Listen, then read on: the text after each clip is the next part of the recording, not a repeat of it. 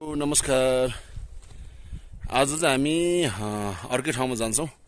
हाम्रो यो मेरो गाउँ मेरो जन्मभूमि जन्मभूमि पिसाङको चाहिँ मृङ्क्यो भन्ने एउटा एकदमै राम्रो सुन्दर तलाउ छ। त्यो तलाउमा घुम्न जानेछौँ।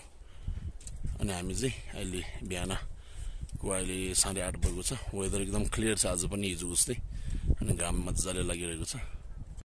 अनि त्यहाँ जानको लागि चाहिँ दुइटा बाटो छ है। एउटा तलको लो पिसाङ हुँदै ऊ पारीबाट जानुपर्छ भने।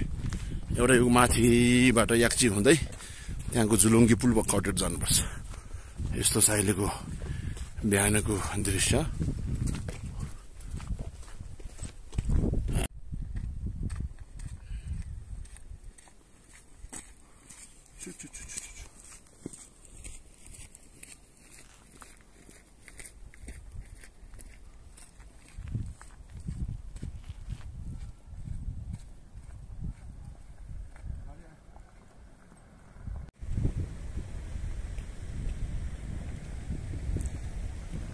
ल यहाँबाट पनि हाम्रो अन्नपूर्ण टुको दृश्य एकदम दामी देख्छ यसरी है यहाँ काठको पुल ब्रिज रहेको छ छारदाङ खोला पुल अहिले बिहानको समय यस्तो छ यहाँको दृश्य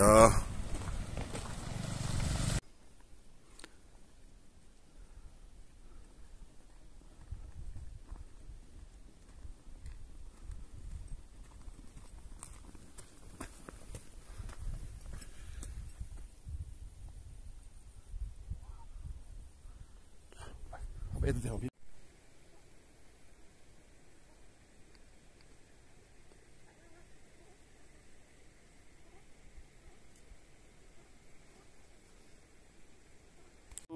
हेलो अहिले चाहिँ म यहाँ मेरो गाउँको मृङ्क्यो लेकमा छु तपाईँले देखिरहनु भएको छ सुन्दर तलाउ।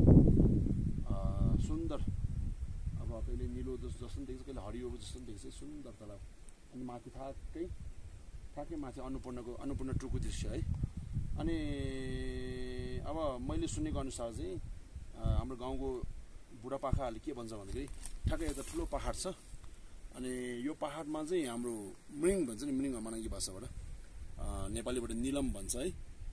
इङ्ग्लिसमा टोर्किस टोर्किस भन्छ टोर्किसको चाहिँ रुख अरे हो त्यो रुखको प्रतिबिम्ब चाहिँ यो पोखरीमा परेको कारणले यो पोखरी चाहिँ एकदम निलो त्यसो देखेको हो भन्छ है अनि एउटा चाहिँ यो पोखरीमा एउटै रुखको पात र हाँगाहरू पनि छैन।